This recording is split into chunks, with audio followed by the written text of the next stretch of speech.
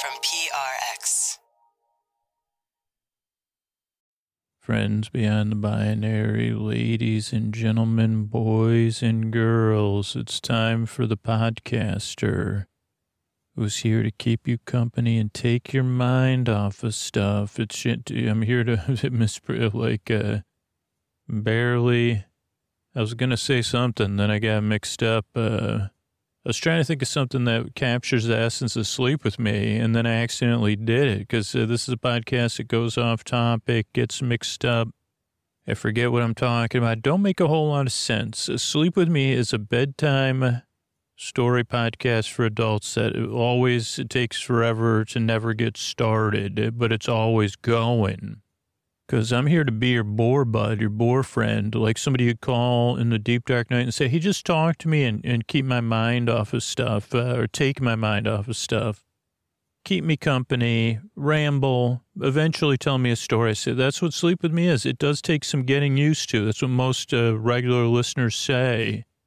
And structurally, what we got coming up, a lot of people like to listen to this ad supported show linearly. So we'll have the support, then a long meandering intro separate from the support that's meant to ease you into bedtime.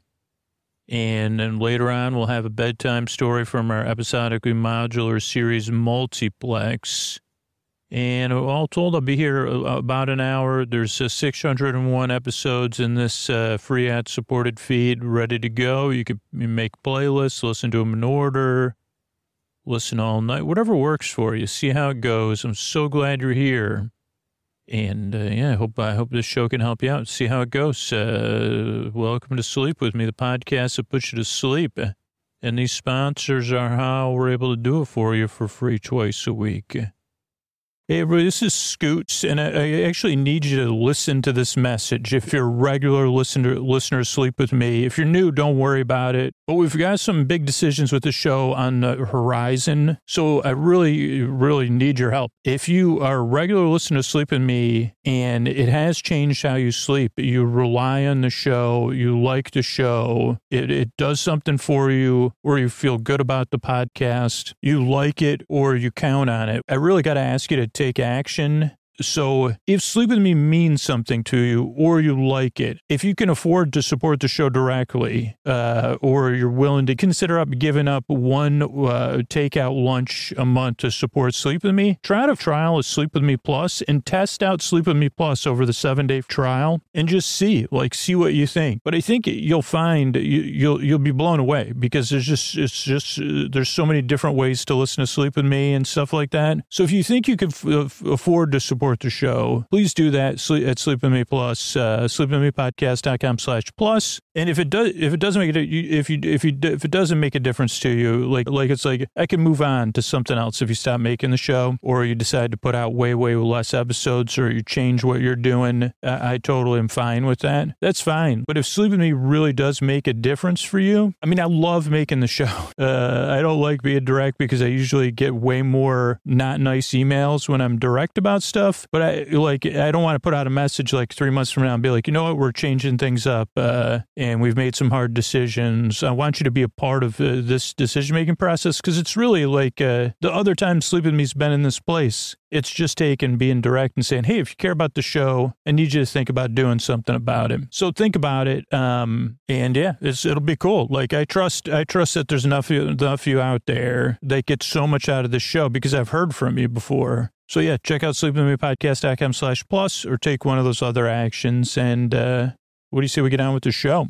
All right, everybody, this is Scoots. This is the Sleepy Supporter Zone. I'm trying to do a sped up version of the Sleepy Supporter Zone, but I just need you to pay attention. If you're listening to this ad supported version of the show, our sponsors are direct response, meaning they base their support of the show on uh, how many listeners uh, not just hear these commercials, but actually like listen and say, hey, oh, let me sign up for that free trial. Let me take that free test. Let me check this sponsor out. So uh, that's why I do take the time to thank people. Susie got got new insurance. You might have already heard me thank Susie, uh, but it's really important. Susie got a new new insurance. Uh, was trying to find new healthcare providers. Used our ZocDoc link. Used the ZocDoc app. ZocDoc.com/sleep. Found all of Susie's new providers using that app, and let me know about it. Let the sponsor know about it. It's huge. it, it is huge. Like tens and tens and tens and tens of thousands of people will be listening right tonight, right now, because of Susie. Uh, they can't can't afford to support the show directly. So thank you, Susie. If you want to be like Susie, uh, support a sponsor, even a free service like ZocDoc. Let them know about it. Let me know about it. Use that form at sleepwithmepodcast.com slash sponsors. And once again, thank you, Susie. That's the first part of the Sleepy Supporter Zone. The second part of the Sleepy Supporter Zone is getting the support you need. There's links to resources in the show notes. You can use those links right now, including international resources. It's also about being a part of positive change, not just saying Black Lives Matter, not just saying stop AAPI hate, not just saying support Ukraine, not just saying things, but learning more, taking action. There's links where you could do that in the show notes, or and or I mean, you could go out there in the world and and, and engage the world however you want for positive change, or you could join us uh, right now. We're supporting the Trevor Project, the Midnight Mission, and Hand in Hand. You could join us in supporting those organizations, or you could take action in your wherever you want. Uh, be a part of positive change. Let me know about it, or you know, share it on social media. Uh, how you're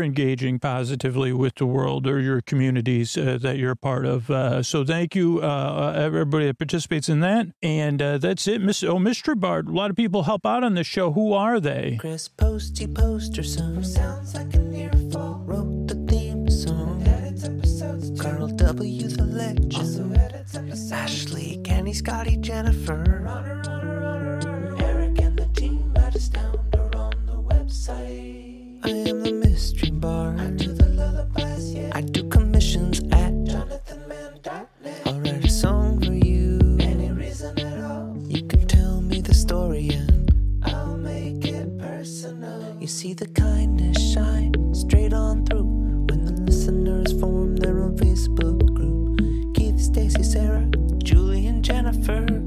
These are your moderators. Get support dear Scooter on Patreon. Merch and support the sponsors. You can find anything you want at sleepwithmepodcast.com. And we're so proud that we could dance. Rusty Biscuit, Lois, Anna like banana. Thanks, Mystery Bard. Don't forget the most comfortable way to listen to Sleep With Me is SleepPhones. You could get them with the five bucks off. Go to sleepwithmepodcast.com slash sleepphones. Use Sleep With Me at checkout. And you can get those Sleep With Me branded versions with different sayings from the show. Uh, and now what do you say we slow it down and get on with the show? Uh, hey, are you up all night tossing, turning, mind racing, trouble, getting to sleep, trouble, staying asleep? Well, welcome. This is Sleep With Me, the podcast that puts you to sleep. We do with a bedtime story. All you need to do is get in bed, turn out the lights, and press play. I'm going to do the rest. What I'm going to attempt to do is create a safe place where you could set aside whatever's keeping you awake. It could be thoughts, uh, things on your mind about the past, the present, the future, just uh, thinking thoughts. Uh, it could be feelings, anything uh, emotionally coming up for you related to those thoughts or feelings that are just there. It could be physical sensations, changes in time, temperature, routine. You could be going through something, getting over something, anticipate. You know, it could be traveling. You could have guests. You could work one of those uh, extra, you know, uh, third shift, uh, different shifts. Yeah, you could, whatever it is. The reason I start to go through some of this stuff is to let you know you're not alone. And I know it's strange with a podcast that's, you know, digital or whatever, uh, that, uh, you know, you just download and listen to. Like, you're like, you can't, you don't know me, can't possibly. Believe me, I said, if, if you could count the number of times I've said in my head to someone, you don't know me and you don't get it. So I, I don't presume to totally get what you're going through. But the reason I want you to know is like, like, uh, I know how, I may know how it feels. I might not know exactly what you're going through, but there's a chance I could relate to how it feels. In a, to a tossing, turning, mind racing, trouble getting to sleep, trouble staying asleep. Those are all things I've dealt with. Uh, and yeah, lately, like, uh, trouble getting to sleep, trouble staying asleep has been uh, like uh, my dreams have been waking me up, even though I don't know, I'm back in one of those times when uh, my dreams have decided to become hard work uh, and doing some rote tasks and not super restful. And then I, you know, you know, I don't know, maybe you don't know how it is, but maybe you know how it feels. Even uh, when my daughter's in the next room or I staying with my parents or my dog's in the room with me, it feels lonely and frustrating and a bunch of other things. But the thing is, even if you can't relate to what I'm saying, or you're like, you know what, I'm going through something really, uh, this is what I'm dealing with. There is, there's enough people listening that there's someone perking up in bed right now and they have a soft smile on their face. They're lean, they're doing the leaning in, you know, if they're in bed comfortable, leaning in equivalent because they've been through something very similar. So they know how you feel and they are glad you're here and they really hope this podcast can help you out. So that's one thing. The other thing is uh, you deserve a good night's sleep. I, I, I feel that way. And that other person out there listening who's nodding right now, they believe you deserve a good night's sleep, a, pl- a place you could rest, a place you could get the sleep you need and you deserve uh, so your life is more manageable tomorrow. And maybe you could start getting the sleep you need on a regular basis and you could be out there flourishing. That's the hope, at least. Uh, and just see how it goes. So what I'm going to do here is I'm going to send my voice across the deep, dark night. I'm going to use lulling, soothing, creaky dulcet tones, pointless meanders, superfluous tangents. So that means I'm going to go off topic. I'm going to get mixed up. Then I'll forget what I was talking about. Then I'll like double back. Then I'll get mixed up. Then, then I'll repeat myself. Then I'll think of something else that's distracting me. So that's pointless meanders and superfluous tangents. Creaky dulcet tones means my voice is not traditionally soothing. It's a friendly voice uh, to some people. And the thing about this show is it's probably different than what you expected. That's what most people say. I mean, when you were, however you discovered the show, maybe someone let you know about it, or maybe you were searching bedtime stories for adults. Maybe you were trying to find something. However you discovered the show, right? Uh, you probably had some idea. Oh, I think this will, you know, I wonder what this will be like. Uh, and this is different because one, this this is a podcast you just barely listen to. That's one thing that's different about the show. You just kind of bear. It's like an out of focus picture, like a TV on in the other room. You just kind of barely listen to it. It's background noise that you could optionally listen to. And it's also, so it's a podcast you don't really listen to. I also, I'm not here to put you to sleep. I'm here to keep you company while you fall asleep, which is a bit different, right? I'm here to distract you from whatever's keeping you awake, to kind of, kind of tell you a story and, and like in a little while and, and go off topic and, and, and just be here present for you as your boyfriend, your boar bay, your boar sib, your boar bud, your boar bestie, your neighbor, your boars, your boar bee, your boar bruh, your boar bestie, your BFF, your BBFF. Uh, I'm here to be your friend in the deep dark night, but there's no pressure to fall asleep. The show, that's why the shows are over an hour. So you don't have to worry about falling asleep. I'm going to be here. That's why there's 601 shows ready to go for you. And the thing is, um, there's people listening who can't sleep at all. They're either, uh, you know, going through something or they have a kind of insomnia or they're taking a break during the day. So I'll be here to the very end uh, to keep you company, whether you're awake or asleep, whether you're listening to me or not. So those are a couple of things to know. The other thing is like uh, to go back, like when you first get here, you might be skeptical, you might be doubtful, you might be frustrated not only is the show different than what you expected, it's kind of meandering. It, it doesn't really get straight to the point. I'm here to ease you into bedtime, right? And all I can tell you is two things. Like uh, most people, like they say, give it two or three tries. Those are people that like uh, support the podcast, have listened for years and years and years.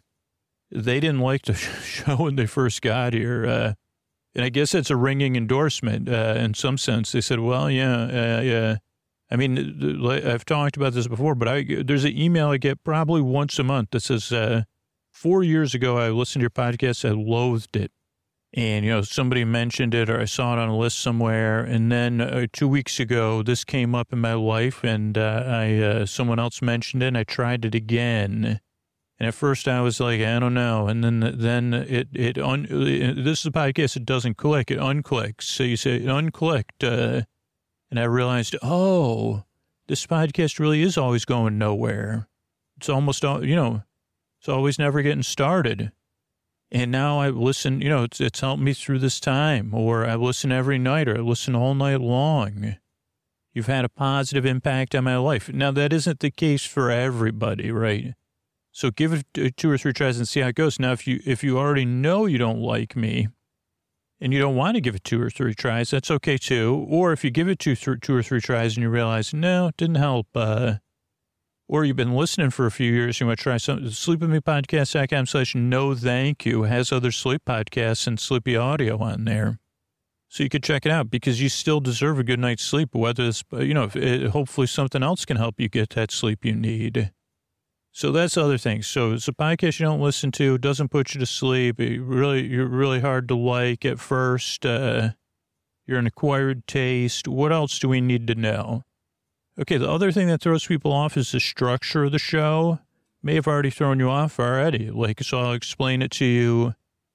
And there's ways to customize the show but our structure is very intentional and it's just how a lot of people listen but you can again adjust and see what works for you. So most people listen to this ad supported li- like feed this podcast linearly like uh, they just start playing it and then and then i kind of go through the stages as they're listening linearly and if you're looking for something without ads or something like with just intros or just stories, you probably already heard me talk about ways to do that. But there are ways to do that, and there's ways you could do it. You could pay, or you could do it, you know, for free. There's ways you can do that for free. But structurally, show starts out with a greeting, friends beyond the binary, ladies and gentlemen, boys and girls, and I say something. And that way, if you're new or a regular listener, you feel like, oh, okay, I'm welcome here. I feel seen. I feel welcomed in. Yeah, if you listen a lot, you say, "Oh, I'm home." Uh, a strange, the strange, sleepy podcast home. So that's the greeting. Then there's support again, because most people enjoy the ad support. They they enjoy listening to it for free with the ad support. Then after that is a long meandering intro. Uh, now the intro is about 15 to 20 minutes long. It's meant to ease you into bedtime, not to put you to sleep. And I've been hearing from more and more people what they do during their wind down time because that's just what's been shown to work uh, is uh, having a transition time. So there's a small percentage of people that fall asleep during the intro, and some of them support the show. You know, it's, it's a little bit more like more conducive to that. Or there's people that listen all night long. But for most people, the intro is a time they're either in bed getting comfortable or they're doing some, they're getting ready for bed, or they're doing some sort of other chill activity as they're uh, easing into bedtime. And you could kind of see what works for you, right? Uh, um, but yeah, like do, do something chill uh, to have a buffer from the day. And the intro kind of goes along with that, where I inefficiently try to explain what the podcast is and ease you into bedtime. Or you could skip ahead and start the show at 20 or 30 minutes if you think you could fall asleep. But the intro is just kind of like a, like leading you in, you know, and, and winding you down. Uh, then again, there's support between the intro and the story. And then tonight will be our story. It's an episodically modular series, meaning you can listen to it in any order. I think this is episode five coming up. So you could always pretend those other episodes are pre- prequels. Uh, and it's about some friends at a mall. Uh, oh boy, is it, uh, like I think they're going to visit a couple stores and they help people out. Uh, so yeah, that'll be a nice little story. At in bedtime, there's always more layers to it because again, some part of your brain may be listening and that helps you unwind. Or if you need a break during the day and, and you need to listen, like some people wake up and they start listening to the show. I'm here to take your mind off of stuff uh, and keep you company. And yeah, then the show ends with thank yous because uh, it's uh, from the support of people that, that support the show that I'm able to do this and all the other people that work on the show. So I'm glad for that. Um, I'm trying to think anything else. I'm just really glad you're here. I mean, I really honestly really hope this podcast can help you or you find something else that can, particularly right now. I mean, I really know what it's like. Uh, it's like I'm going through a little bit of a time where I'm not looking forward to bed because, uh, I don't know how it's going to go exactly. And uh, like a week or two ago, I was sleeping great. So it can be baffling at times. Uh, but what I return to is the stuff I talk about in the intro. I have I try to have my bedtime routine. Maybe I could be a little bit more consistent about a couple things and have a way to ease into bedtime and have something to look forward to. So I don't know. I hope the show can be a part of that for you. I'm really glad you're here. I really appreciate you coming by and checking this out. And I really hope we can help you fall asleep. Uh, Thanks again for coming by. And here's a couple ways we're able to do it for you for free twice a week.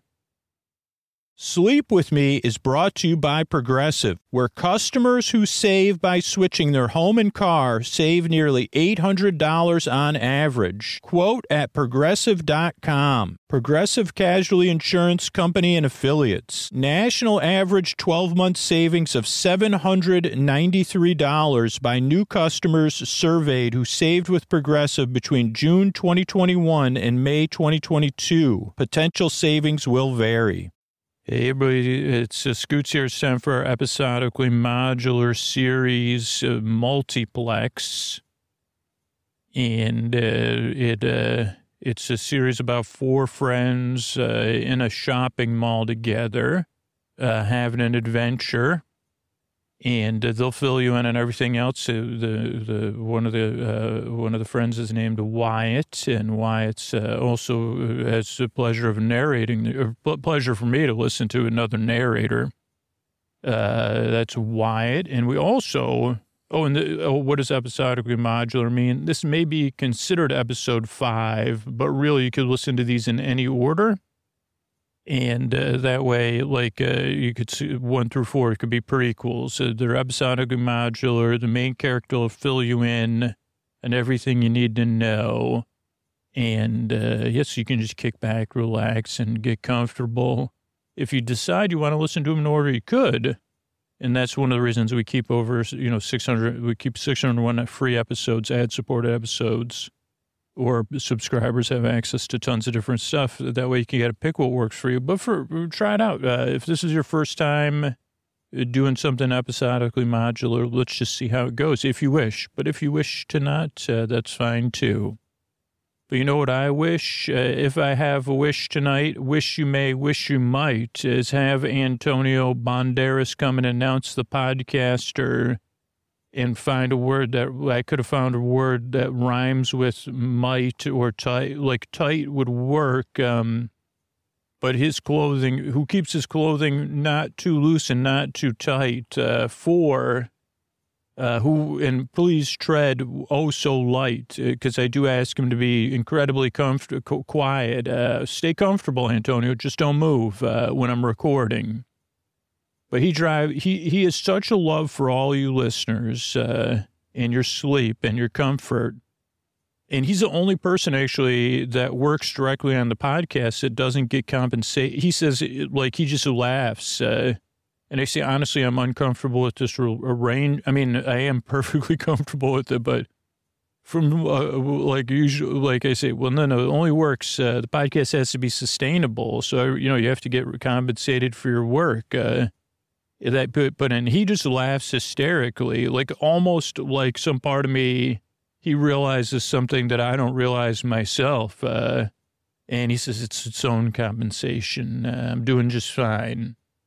And I say, well, the thing is, what, what we did do, I mean, it's a little behind the scenes. We did enter into a contract because I said, well, the thing is, if you're not compensated, then I can't create, you know, these uh, wonderful boundaries I need you to follow. I mean, it could, but then it's optional, right? You could just show up when you wanted. You know, you could drive to Los Angeles and it could take you, you know, six hours. It could take you 12 hours. And then you would just show up when you show up. And maybe you like, uh, you know, your clothes are too tight or too loose, so they're more noisy. He wasn't aware of it. He says, Thank you for teaching me these things. Uh, I had no idea if my clothes were too tight, they would make a sound undetectable to the human ear, except when you're recording a podcast, or the swishing of my clothes being too loose, because he did try to make these adjustments. I said, it's just not working. And he said, what if my birth?" And I said, no, no, no, can't have you walk around in your birthday. Like uh, angels would be weeping with like joy and, uh, and other things if you're walking around, you know, in birthday style in my place. Not to mention the fact that, uh, not sure that, you know, whatever, then I have to keep the place at a temperature. Yeah. So we entered into a contractual agreement where he is compensated by his joy, the joy. And we, we do do, I, I do do, uh, I say, is there a way to, um, measure that joy? But it's measured in his smile. And he even says like, uh, like, uh, his gr- gratitude uh, for being able to do this, uh, which I agree with him mostly. I'm also grateful that, you know, he is willing to sit in his car and, uh, you know, not at my, you know, and then wait until I let him come in and then, you know, go through all the procedure quiet protocols. And then he says, you know, sometimes he will point out some of the silliness. He says, you know, I noticed your clothes are, uh, and I say, okay, whoa, whoa, whoa. You know, I know it like, I'm the host, man. I got host mentality. So, uh, like, yeah, he's uh, like, this is a dated, ra- I don't think he's a Doc River. No, no, Doc Rivers is a coach. Uh, there was like a, that was a music person. He's, he's like, uh, I don't know, because, you know, those shows have like, an, there's an one announcer on a show who never sits next to the host on those little talk shows. I don't know. But I'm just honored to be here. I mean, you know, I'm honored. I'm honored, to be here to have him here, our Hollywood announcer, Mr. An- uh, uh, Anto- Anto- Antonio Banderas. This is Friends Beyond the Binaries. Ladies and gentlemen, the boys and girls, it's time to go click, click, click to the theater. It's time for multiplex. Yeah. Wow, spectacular as always. As Mr. Antonio Banderas, who will be now remain silent. We're going to play some Wandering Towers. Uh, and why, why, wonder why you couldn't remain perfectly still for, we're just laughing at each other, hour, 15 minutes, uh, or more or less. Uh, but that was Mr. Antonio Banderas. This is Multiplex. Good evening, uh, everyone. This is Wyatt here. Uh, and I'm recording these audios. Uh, I don't know how they'll be distributed, but it's to tell a tale that hasn't been told, that I feel hasn't been told before. A tale of the road to average. Uh, three high flying uh, students, uh, friends, and a third, fourth friend uh, who was not, who was different than that, but uh, an essential part of our story. We set off on an adventure that was an adventure is is is traditionally can be considered pretty adventurous. But what that adventure led us to was not uh ex- exciting. It was uh I, I hesitate to use that word N-O-R-M-A-L because that's not the right word, but to be people among people, uh, to live a, a life uh, where, let's see, well, what does that mean to be spectacular? What I mean is, when we entered, uh, before we started this journey, all three of us were on separate paths, uh, aspiring to greatness and uh, aspiring to uh, an unlimited potential. And what this adventure taught us, which I don't think a lot do, is how to say, huh, what's up with that? Uh, maybe not. Uh, you know, the, because it's just, uh, even though this adventure itself, uh, might stick out. And and what happened for me was uh, that that's changed recently, and I, and I felt the need to explain it because I also uh, took a few steps back. Uh, I had a public access television show, which a lot of people might not know, years and years ago. And uh, it was small and it was very niche, as you'd say now, or niche uh, for people that liked a particular kind of movie and it wasn't uh, really unique. There was people doing it on uh, television channels around uh, the world, and we would interview people. But what, caught the attention now in the digital era is that uh, a lot of my interviews were very uh, felt more real and authentic. Uh, and this is kind of I said, well, I need to explain that that's those weren't interviews or they weren't performances but that led me to tell this tale uh, about uh, uh, how. So what? What? What do you need to know coming into this? Uh, well, there's three of us uh, that were uh, really close friends. San Santos, Josie, Joe's, and myself, Wyatt. And then there was Boyd, the corncob kid. Not a friend of ours, but we were friendly with Boyd. Boyd was a char- Boyd's character, uh, and was character around school. And recently, we were uh, heading towards graduation from high school, and my path forward had changed uh, because of different things with my family and uh, expecting to get this uh, scholarship uh, that would bring me on to my next phase. And for the first time, being unable to perform really, uh, like with the interview and a part of the process. I didn't get that scholarship, and I was at a loss of how I was going to go on to the next part of my journey. And uh, we were playing mini golf, uh, just the three of us, uh, to kind of relieve some of the tension and process it and imagine if this mini golf game came with a scholarship but it did not. But it came with an interruption right at the end uh, from Boyd, the corncob kid, who had gone through a culvert uh, by this mini golf course to a, a, shopping mall that had been closed for some time, but not so long that it would totally fall. It had just been slowly forgotten. Uh, people had moved on to a larger shopping mall of all things. Uh, but this thing was not small. And Boyd said, uh, basically trying to give you the short version. Boyd said, hey, there's uh, Julius J. Juice concentrate, uh, which at the malls uh, used to be popular, where you, I, I, don't know, I never had one. Uh, orange juice, and it was an orange juice based enjoyment drink. I guess it wasn't from fresh squeezed orange juice, it's from concentrate. Uh, and Boyd said, you know, Julius J. Juice went out of business and Mall went out of business, but this mall, the former Julius J. Juice mall store is full of Julius J. Juice concentrates. And Boyd had a way to sell it uh, on the bulletin boards of what you would now call the internet and the groups, uh, used groups or whatever.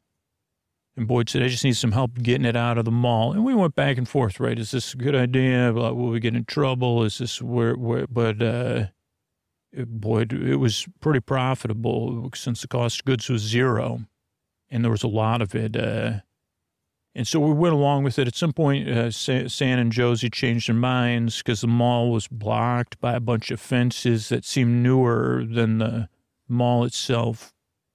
And then we got in the mall and we were planning on getting in the juice. But along the way, we met somebody at like uh, the world of uh, cutlery who needed a hand finding uh, a store item. And, and then we found ourselves uh, in what we believed uh, was uh, what you would call now immersive theater in a, in a room of getting out of but on a large, much larger scale, like a mystery, immersive mystery theater within a mall. And we met what we thought was a character animatronic from this adventure uh, who was kind of wrapped in uh, swaddling, uh, like is a way to like, but an adult made from uh, uh, decorative, uh, like anatomical, uh, de- de- decorative, uh, like things and, and, uh, wrappings from the, the phase of the past movies, a fictional phase of uh, Egypt and adventures in Egypt, but only the, the non-historical uh, version. Famous films uh, like Mommies and stuff like that and so we were helping this animatronic mommy uh, w- gather some things and get back into the multiplex uh, and in back into their film, her film. It ended up she had been a, a sorceress uh, in the film. Maybe you're familiar with it, maybe not.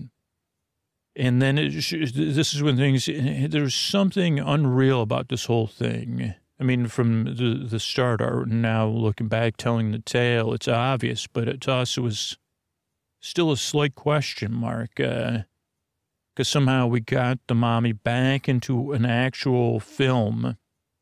And the last thing I remember is that uh, uh, as we helped her, uh, on her quest. Uh, the, then the film became more of like a advertisement for breakfast cereal.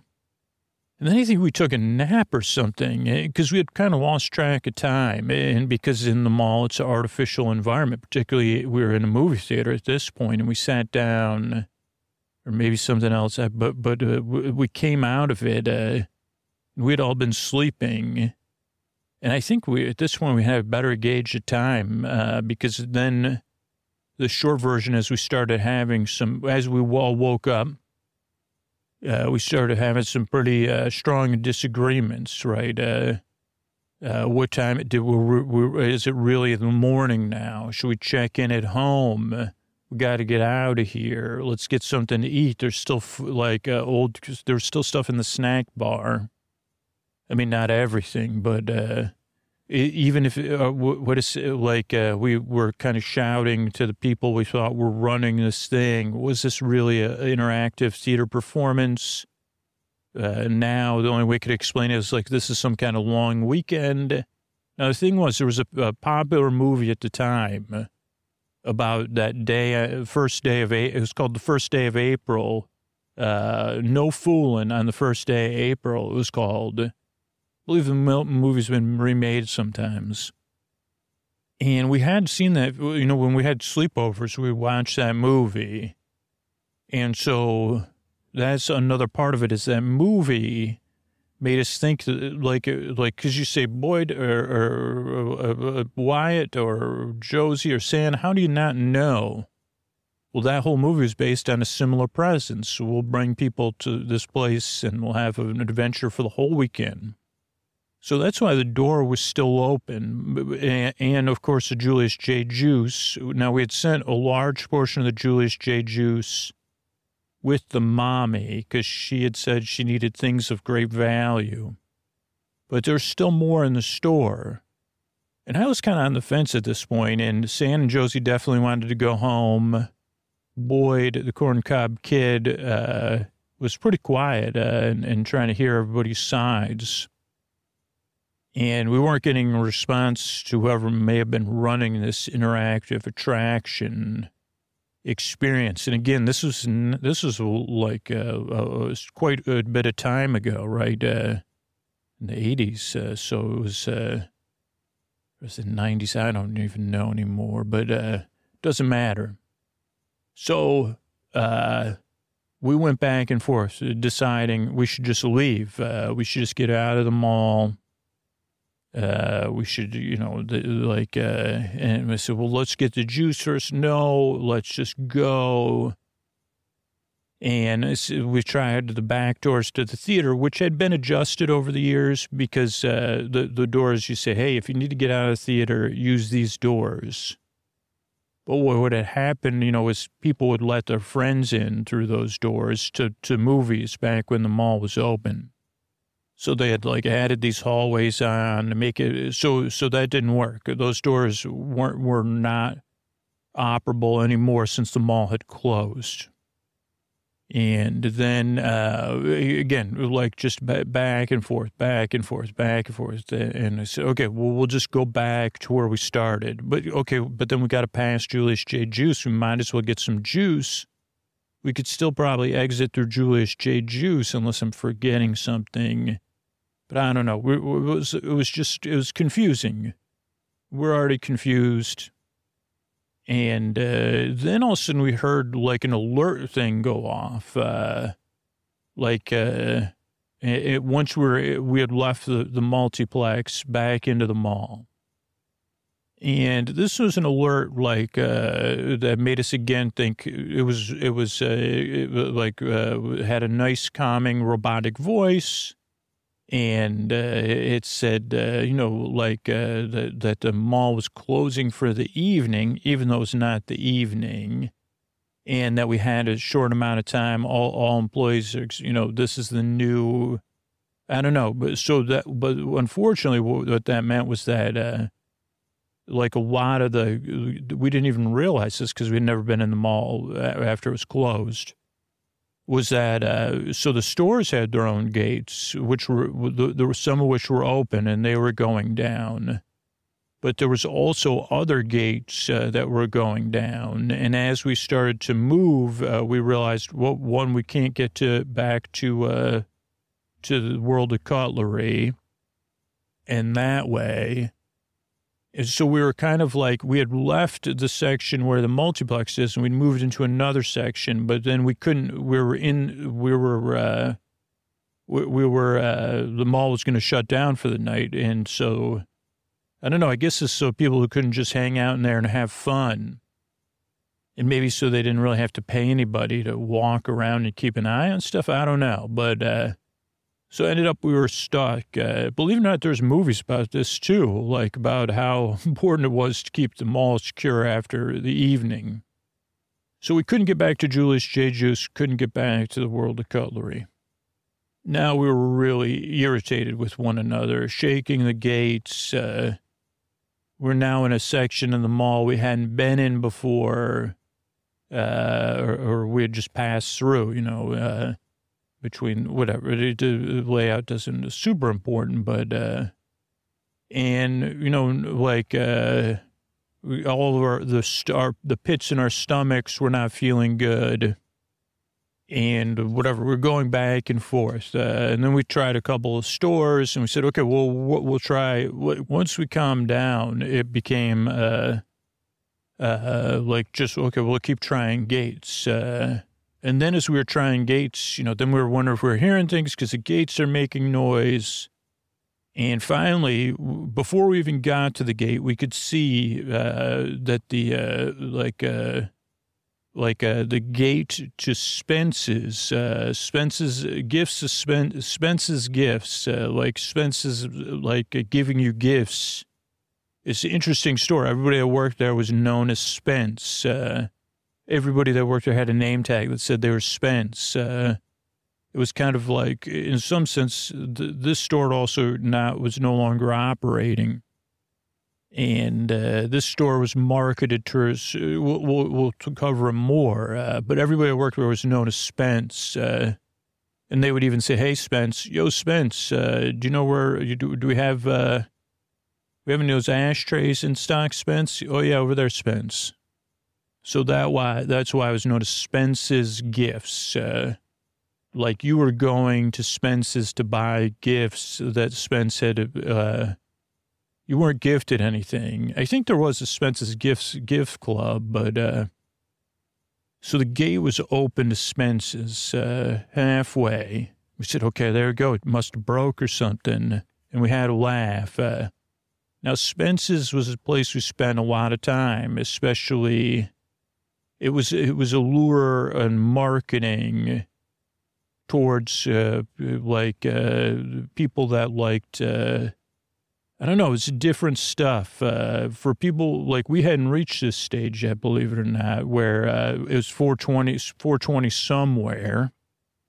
But if you liked uh, posters, cars, glow in the dark things, interesting, goofy things, uh, they used to have. Uh, this is funny to me now. Like uh, you could buy over the hill toilet paper for somebody when their birthday reached, I mean, maybe 50, I don't even know, which is hilarious to me at this point. Uh, just things like uh, unique gifts uh, that uh, were like a little bit of a novelty. I think that's what they would call it novelties, gifts, and more.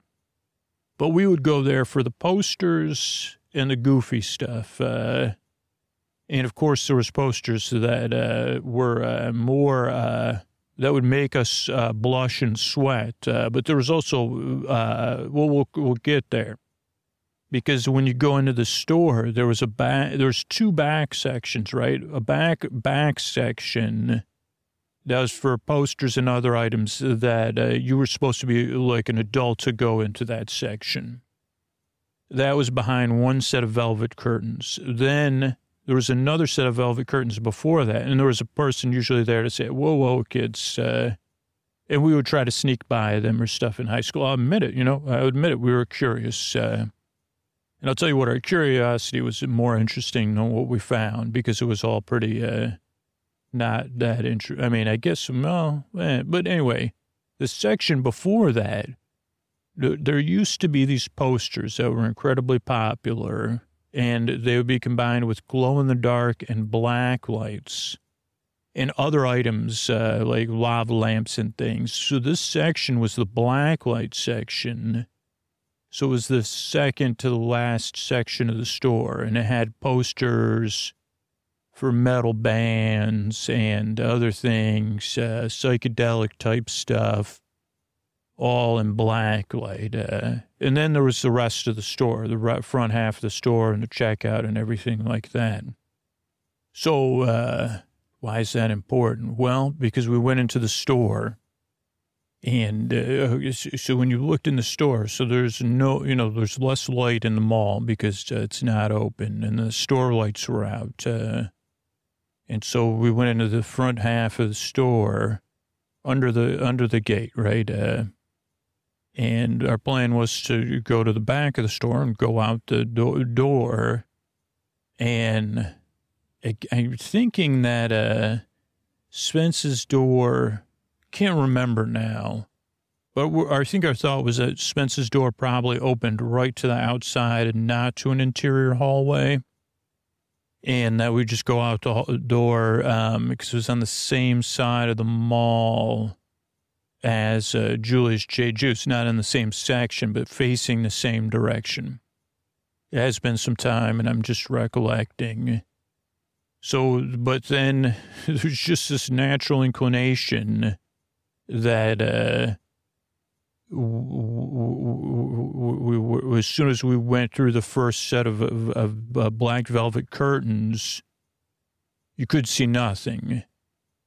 And uh, even kind of holding the curtains open, which we tried to do while one person made it to the other side, like uh, it wasn't possible, right? Uh, I don't, I don't know, uh, like, uh, and it was also kind of cool because uh, uh, we kind of forget when you're in darkness with friends. Dark, they're, they're, they're like, uh, I don't know. This just sticks out to me because this is what happened. But whatever, we tried everything we could do and again, like we had, we, what our original plan was to like to hold one person hold the first set of black velvet curtains open. Somebody gets to the second set, open, holds those open. Then somebody goes to the third set and finds the back storeroom in the store and holds those open. And then somebody goes all the way through.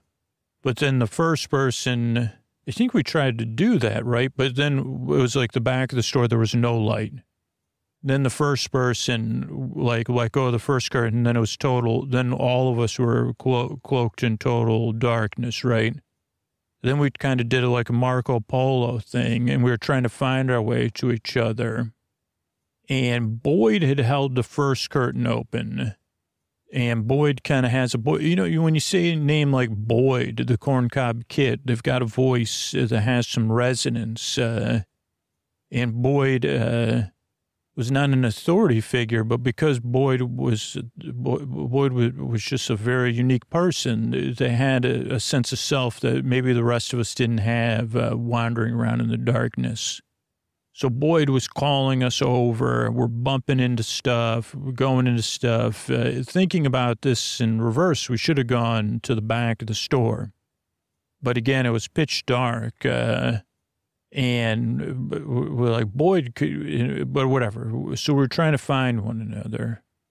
And at first, it was kind of not the greatest experience, right? You're you don't know where you are. You're bumping into stuff. We're already heightened in our senses. Uh, then we're talk, we'll, we then we start finding each other. First, that's a surprise. And then, of course, uh, we had one more surprise, which was we found each other. Then we were trying to. Then somebody said, "What? What's that?" Like, like. Uh, and of course, we see a pair glow in the dark uh, uh, comedy. Like, oh, this is another thing they sold there. What do they say? Like the stuff, not magic tricks, but the other stuff like smelly powder. And this was one, it was the googly eyes uh, detective kit, I think they would call it. Uh, and I think Pee Wee Herman even had a pair of these, and maybe it even was in a Pee Wee Herman movie, but we saw those, right? And we said, my word, that's uh, like, uh, and uh, we're kind of we're all in the darkness, frozen. And then uh, we heard uh, like like uh, as we were kind of like all four of us unable to process ourselves. We heard like something. I don't know if this is what they said, but this person said, "Welcome to Spence's, my dudes." I don't know if they used my dudes at Spence's, but it was something like that, you know, whatever the parlance was of the time. And again, we were, uh, we could have been like petrified wood. And uh, the person said, uh, what can I help you with? You shouldn't be, by the way, you shouldn't be crawling, crawling around. And it, like they went off script right away. Shouldn't be crawling around here. And then they lit a lighter and again, none of us, this was not calming for any of us. Until we saw them and even with the lighter and they were the most Spence of Spences, uh, uh, even as, uh, even in the light of a lighter, I guess, it, like they had long hair and uh, by the way, was you know dispense is like uh, could be used for for any gender identity, but this was like a, a, a like a like a metalhead dude, right? He was saying my dudes. Uh, so he had long hair. He was in his twenties. Uh, it seemed like he was in his forties to us, but I would probably he was probably in his twenties. He had on his uh, Spence vest with his name. Spe- um, hello, my name's Spence and, uh, but he, he, he, he said, uh, come on to the front of the store, follow me, like, uh, with this lighter, which eventually went out and then he had to turn back on. He said, well, that's, well, that was warm. We got to the front of the store when it was lit and he was even, he was as Spence's as advertised. Uh, like we were already, we, we, and he was calm and cool and dominant for us. Uh, so we suddenly felt like, uh, okay. And, it, or another line of thinking in my brain, at least, was this is an actor.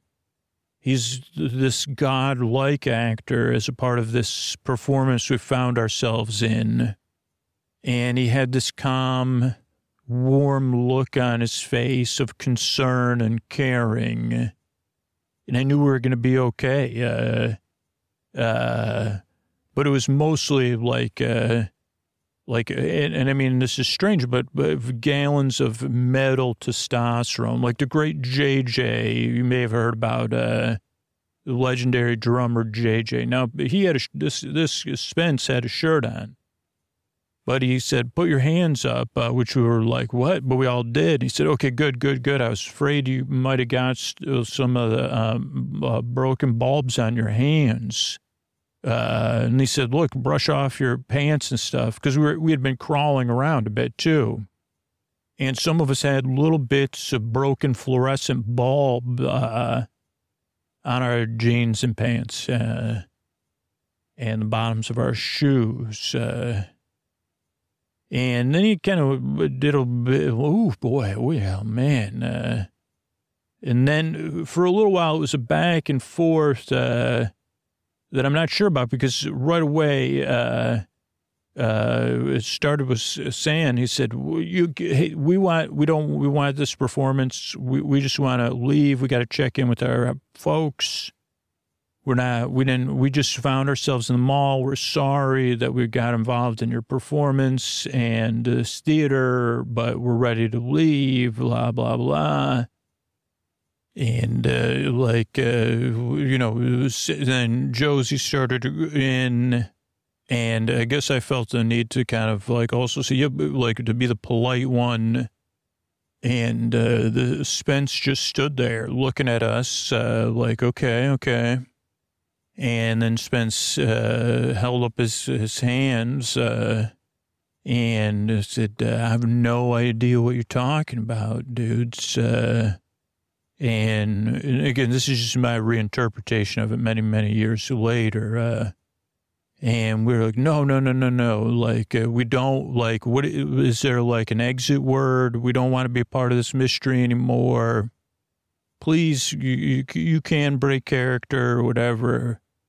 And Spence said, I'm not a character, man. I'm at work and I'm glad you're here. And I'm glad because I need your help. Uh, and we went back and forth with this, right? Uh, and again, you, you do have to understand that there was something, maybe it was gravitas or some sort of more uh, evolution based thing, uh, that this was this male figure who was not any of our fathers, who was distilled maleness. Uh, that we only felt we could push things so far, but also that he wasn't uh, pushing back or anything, that uh, he had such a presence that he said, uh, no, this is uh, like, uh, like, so it was intractable in some sense. And he said, I need your help. Uh, and, and, then we even said, hold on. And I was like, and then Boyd said, let's just, let's just see how this goes. Uh, and, and then uh, Sand said, well, we need your help too. And then Spence clapped his hands and said, perfect, my dudes. Like, uh, we'll work this out together. And they said, uh, like, uh, like uh, Spence said, like, okay, well, like, what, what do you need help with, buddy? I think at this point it became little buddy to, to at least Sand to kind of say, well, just try to relax. He said, so we got to get out of here. And Spence said, oh, okay. Like, uh, I think there was a phrase back then, and maybe it wasn't on the get down or the down low or something, but it was like, oh, okay, man, like, I get it, I get it. Uh, you need to get out the back, huh? And Sand said, yeah, yeah, no, no, we need to get out the back right now, though. And he said, okay, okay, I got the keys to the back. Uh, and again, if it was a different situation, like there was no sense of where we are going to emotionally overpower or sway Spence, uh, even though we wanted to, right? Uh, we just, in sense well, we just want to leave now, though. Can you just give us the keys now? You have the keys. And then Spence kind of just said, you seen, man, can't even barely get through there. Couldn't see the door if we needed. And he said, you have a lighter. Spence said, man, I just need your help. Uh, just take a few minutes and we like uh, eventually we were worn down uh, to be listened and reasonable uh, uh, by Spence's calmness and, and openness and dominance. And so we said, okay. And Spence said, yeah, okay, man. Like, uh, all you need to do is go down to the t- Tiki Transistor Hut, which sold a lot more than Tiki Transistor. It was a Tiki themed hut for radios at one point. It was a store though. It was tiki, you know, tiki style, but it sold all sorts of different stuff at this point. Uh, and in some sense, it was a complimentary shop uh, to, to uh, it was more for electronics. But he said, uh, you know, somebody came in here and busted up all the black lights and I can't be working unless you know the poster room's pitch dark, man, and and then the uh, you know the after dark room is uh, you know too dark too. So I need you to go down to Tiki Transistor Hut uh, and see see if they uh, they they they they do have black lights, uh, and they have two black lights and other kind of black lights. So I need you to go down there and get get some and bring them back. Uh, and we were like, like and he said, just keep account and we'll invoice them. Don't worry. Like, uh, we're owned by the same parent company. Uh, so it's fine. Uh, and I even have the key to the gate. So uh, you can go in there and we're not taking anything. We're going to, you know, you keep track uh, and I'll write up an invoice and we'll, we'll make sure they get paid. Nothing, you know, there's nothing strange about it. But you, Spence, Spence needs the posters to be on display. And again, it was a little bit tiring going back and forth again, but Spence was just so reasonable and made us feel unreasonable. Uh, he said, Go ahead, man. Here's the key. Like, uh, off my keychain, got the key to the back door. Once you get those lights, you, you can hit the road. And uh, so then we had, uh, eventually we gave in and we went under the gate at the front of Spence's and we headed out. And again, it was in the same section of the mall, uh, across the way and down. So a little bit of ways, a couple of, you know, planters and, and uh, things in the way. Uh, so a little bit of a walk. We head to the Tiki Transistor Hut. Uh, and of course, uh, um, as with the last tale, uh, before we got there, we heard something. And uh, that's when, again, we said, okay, this is this theater. Doesn't make sense except w- with the model we have of the No Fooling on uh, April 1st movie that we're in this, you know, without an option. So, okay, so we go down there and uh, the person, the voice was like uh, somewhat uh, not intimidating. It was someone saying, I need some customer service here. I need some customer service, uh, which was weird because the gate was down. But again, we said, okay, well, this is a task. We've all played, I mean, my friends and I played role playing games. We played video games. Maybe this was the last quest to get out of there. So we opened the gate to uh, uh, the Transistor Tiki Hut.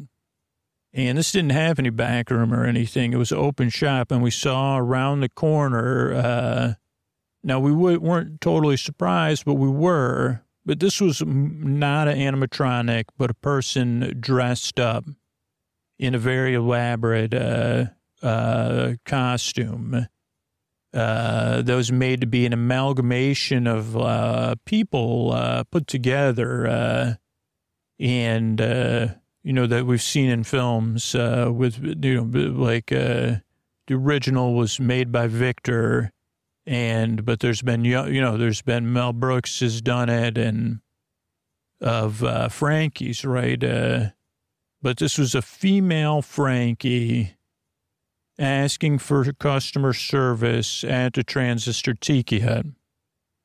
But and and again, you might say, what? We, but it was like we were immersed in something we were trying to get out of at this point. So we did, our disbelief was in a different place. It was a very impressive costume. And as soon as we opened the gate, it said, "About time." Like, you, which one of you works here? All of you? And this is when I thought everybody was kind of on the same page. Because uh, Boyd said, Oh, we'll be right with you. We just got to get everything set up. Uh, and then uh, Boyd, Boyd, who I thought was in it to win, like was, was, uh, I'd kind of given into the thing of like, okay, let's just complete this quest. Spence will let us out. And then there'll be, we'll be able to leave or, Maybe there'll be, I, I, I don't know. I was just following the, the track laid out for us. And I thought everybody was, but then Boyd said, one second, I'll be right with you. And Boyd said, okay, like, uh, we can always check the door here too and see if we could just get out here. Uh, now that we're in the store and we could see if this key works. Uh, so you distract them and I'll go, give me the key. I'll go get the, I'll see if this works on the door. Uh, cause this was a, a more traditional store. So it had a back area where only the employees would go behind the counter to get stock or to come and go and check in for work.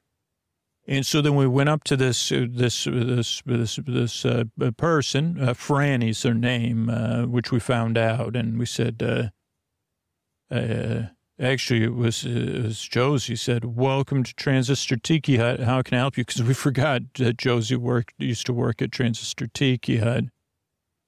Uh, any tiki-licious transistors, or, or, we we can turn you on to, and you have to do this again. These are these themed stores. Uh, you do like this uh, hang 10 sign. Very cringy, I guess, at this point. Uh, and if you're in high school, people would go and watch you do it and make fun of you. For some reason, being at Spence's was cool, but working at Transistor Tiki Hut was more for people to stand outside and laugh when you had to participate. Pretending your name was Spence was something to be idolized. But again, Spence didn't hire, Spence's and wouldn't hire high school students. Maybe that's it. So this person said, Well, I'm Franny like, uh, and I need to, to get this stuff up and working.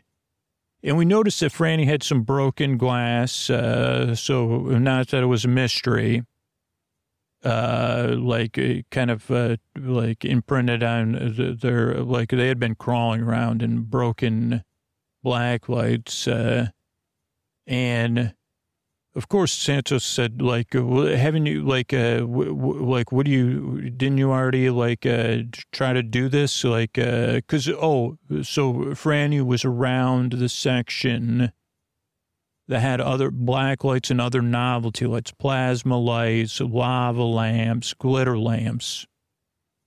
And Franny knew what they were. And we said, well, what can we help you with? And then it was a long, this was a long story. Uh, I don't think, think I can just give you the highlights because it fits uh, the larger picture. This was Franny, right? Like Frankie, Franny explained to us that she was uh, the, the amalgamation of ultimate companions of the world, not that kind of companion. She looked at me and said, you know, famous people, blah, blah, blah. And I've been like, uh, like taught to be, you know, the, the ultimate, but, uh, no one wants me as their ultimate companion. Like, you know, I'm versed in conversation, games, blah, blah, blah. Like, uh, and we didn't really know how to breach the subject because he said, well, you know, you look, you, you maybe, maybe, but you're a physical amalgamation of, uh, companions or figures and she, she, even said, like, you know, this, this, you know, check out my forearm. It's, uh, I can't even remember, like, uh, whatever, some famous talk or something. Let's just say, this is Samuel Clemens. Uh, this is, and we said, yeah, but, uh, Samuel Clemens has gone on to the big farm and left that forearm, you know, to be, become a part of, you know, return to the circle of life. Uh, and so that is already in the process of returning to the circle of life, and it's kind of off putting. And I prefer not to be in the vicinity of it. that's really cool. I don't know. What do they do? Do that with latex or what? Uh, so we did try to say stuff like that. Uh, and Franny was using terms like wretched and and whatever. Uh, and we said, okay, well, what, like, like, uh, oh, Boyd came back at some point and said the key doesn't work. Uh, but if I, like, uh, if I can get some help, whispered this to us, obviously, like I can find something and, uh, San, you come with me and we'll try to, we'll, we'll get the door open. We'll work the door open. Uh, but you keep working here, you know, buy us time or work it out. So again, we went through this. It was just Josie and I and Franny. And we said, okay, well, what do you need help with? Like, uh, pretend, it wasn't pretend for Josie. So, okay, well, what do you need? Uh, well, I need, oh, because there was also on the boxes, there's pictures, all this stuff. Uh, and Franny said, this is exactly the stuff I need. Uh, I tried to get it in the other room and, uh, I need to get this stuff. I need to get it back to where uh, the Maiden of Iron is. Uh, and that took us a while to figure out. We said, oh, it's the posters. There's a famous uh, character on the posters of the Maiden of Iron. And she was a powerful figure. Also, uh, more similar to an anatomical being for, you know, like decorative purposes. So we said, okay, wait a second. So, and this is mostly Josie using Tiki transistor Tiki Hut training to say, okay, so you need these, you know, Franny's pointing at the plasma balls and the plasma tubes and the black lights and the electric lava lamp, like this circle that looks like lightning. Okay, so you need this stuff and you needed to transistor tiki hut. Okay, okay, okay. But for, for, what again? Well, I need to become the maiden of iron. And we said, well, why? And I said, well, that may, then, then people will like me. And again, this was something we could relate to mistakenly. We were relating, saying, "Oh yeah, that's like one of the reasons we go to Spence's is like to be because we part of us wants to be like one of the Spences." Particularly this Spence we had just been in the presence of. We could barely overcome, we couldn't overpower that Spence even with argument. Like, who doesn't want to be a Spence? So we said, okay, so you just need us to bring you back there. And then, and then, yeah, I'm going to refine, I'm going to become the maiden of iron. This is what Franny was saying. And then I'm going to return. And we said to the, to the multiplex, uh, and she said, what? Uh, no, no, France. Uh, we said, uh, okay, but, uh, like through the multi, like in a, you're going to get back to France to a room with chairs and carpet? Yeah, yeah, yeah. Oh, yeah, yeah, yeah. That's where I came in. Then I was lost. Then I saw the maiden of iron and I knew, like, it came back here to renew my purpose. Uh, I got to go back. I, I need people to realize that I'm the ultimate. And obviously, there's this whole shrine to the maiden of iron. She must be adored and I need to be adored. That's my purpose as the ultimate companion, constructed and amalgam- amalgamated.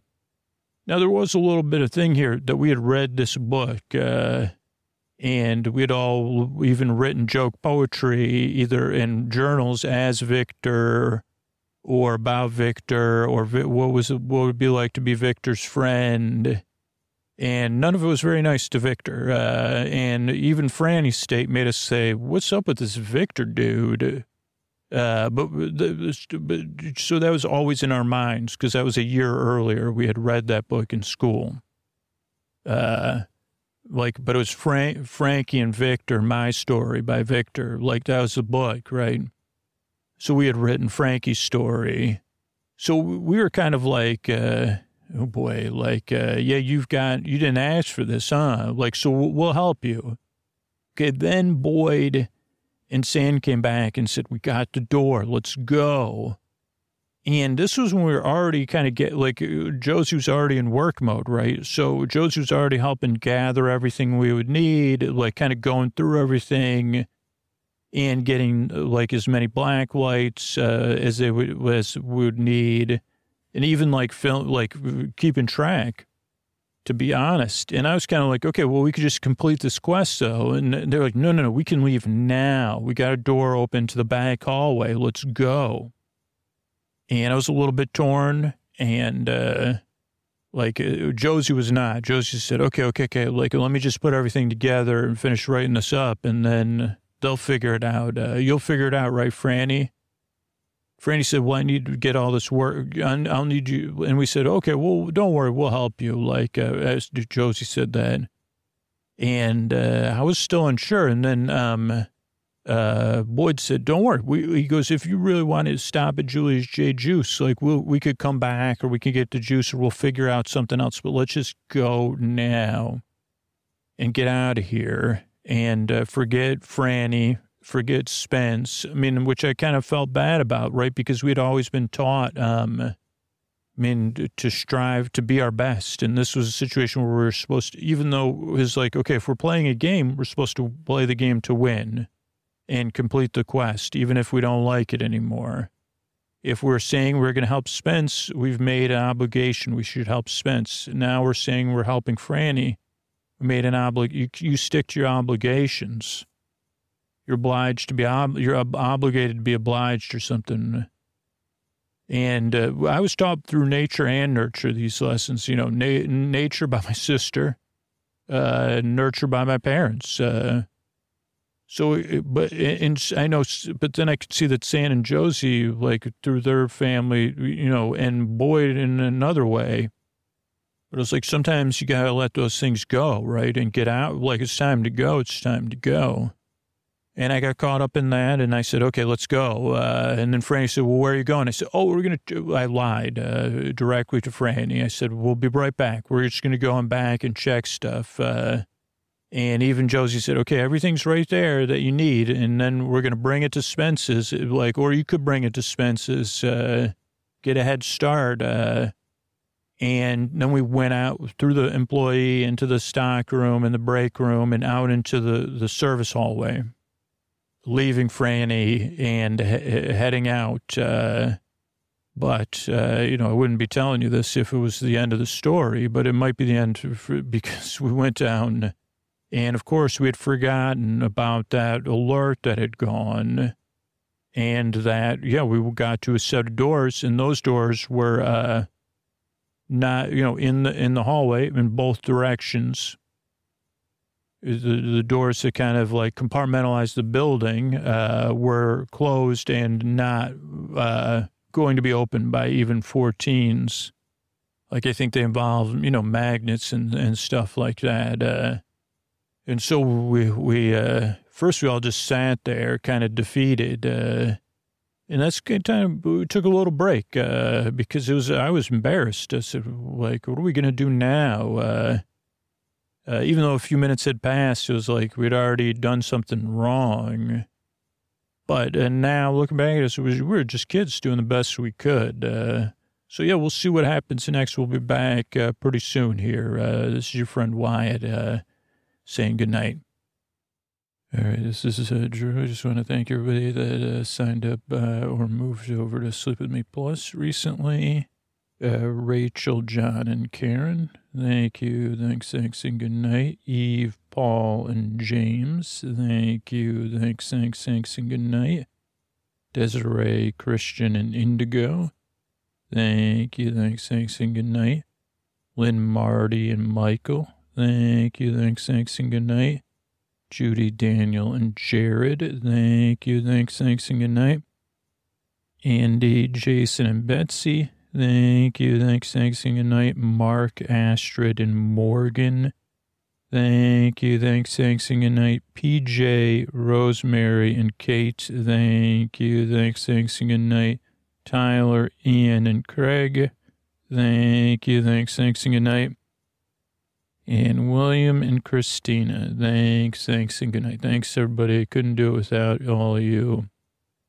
I really appreciate uh, the support. Um, and uh, people that support the show directly, support the show through the referral program, or support the sponsors is really how we're able to be here for you for free a couple times a week. Uh, and I really appreciate it because I couldn't do it without all of you. And uh, yeah, free way to support the show is uh, try out a free trial from a sponsor or join the referral program.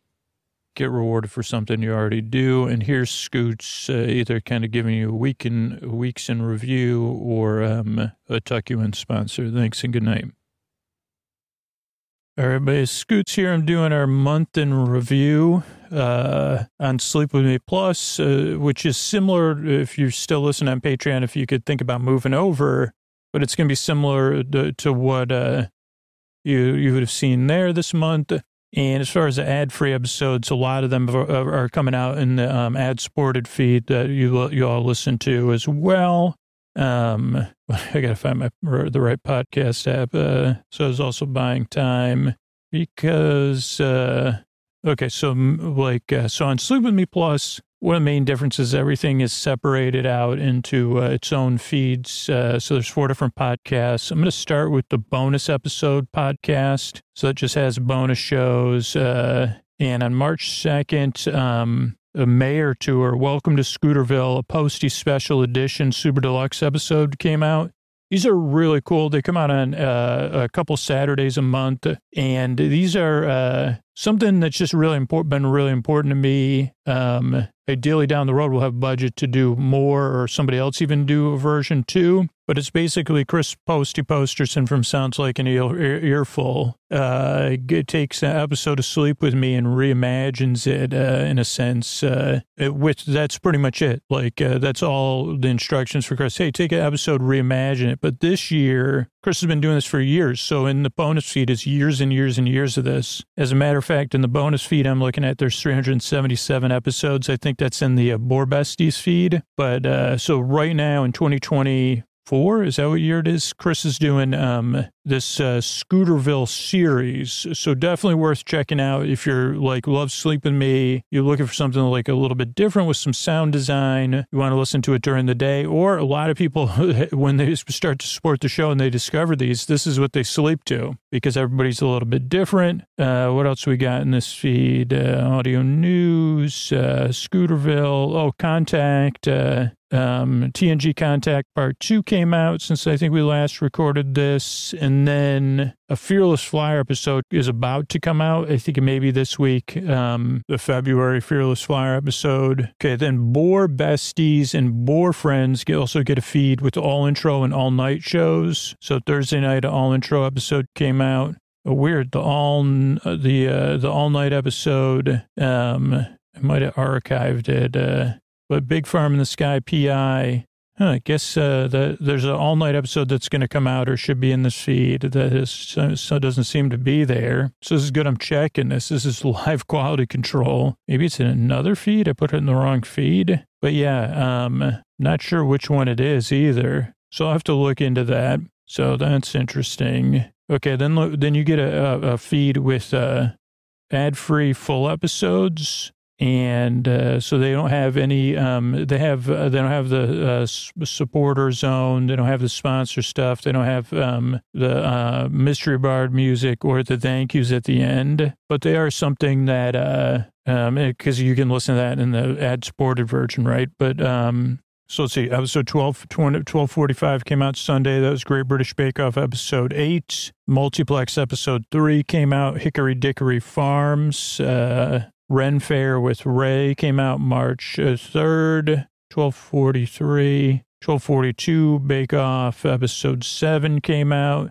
February 25th, uh, Multiplex episode 2 came out. Julius J. Juice. Um, what else we got? Uh, uh, 1240 apple cider redo. That was Trader Joe's uh, shop and cook episode. Big retraction in that one. You know, I to ma- retracted my opinion on apple cider donuts from Trader Joe's. So, yeah, and then the audio news. And then in story only, we had, uh, uh, see, 12, the same thing. Uh, everything comes out on Sleep With Me Plus. If you're, this is so cool. There's something we only have been able to do since we moved to a new platform is we're able to put out the story only episodes and the all the the the, the full episodes on the same day because they're in separate podcasts. We couldn't do that on the old platform because everything would just been too clogged up and it would just been too confusing for a large number of people. So now, yeah, story only. There's like a lot of story only fans, and yeah, they got the same thing. Uh, Great British Bake Off eight,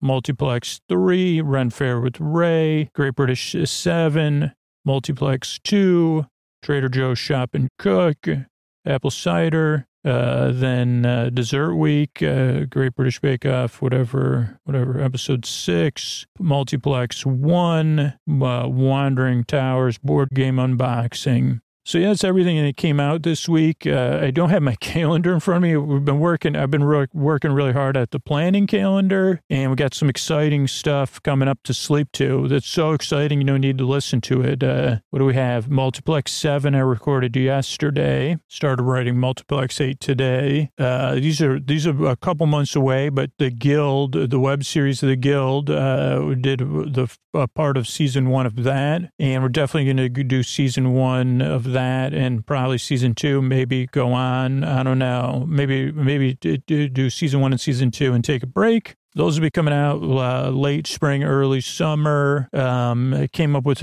two new ideas uh, for uh, random Tuesday episodes. One with pillow, like uh, other plush friends, a pillow pet, and then another one that um, would be called the, uh, the Marble Vagabond. And those were episode ideas that came out of intros. Uh, neither of those has been recorded, though. Those intros were recorded. The Marble Vagabond intro will be in part two of our coverage of the movie Bring It On. Uh, what else have we recorded? Uh, we did a, oh, I guess in the last month, uh, we did an episode called Wil- Wildy Wonka uh, Interactive Experience, Immersive Adventure, which I was really happy with. And that's going to be a new genre of Sleep With Me style show of like, uh, poorly run immersive adve- immersive experiences like the one like that kind of what got a lot of press uh, and we got to do we got to work on the audio for something very similar but it was called the wildy wonga uh, experience uh, also not very not a very high budget experience but at least it had audio from scoots or a narrator like scoots so that'll come out late spring early summer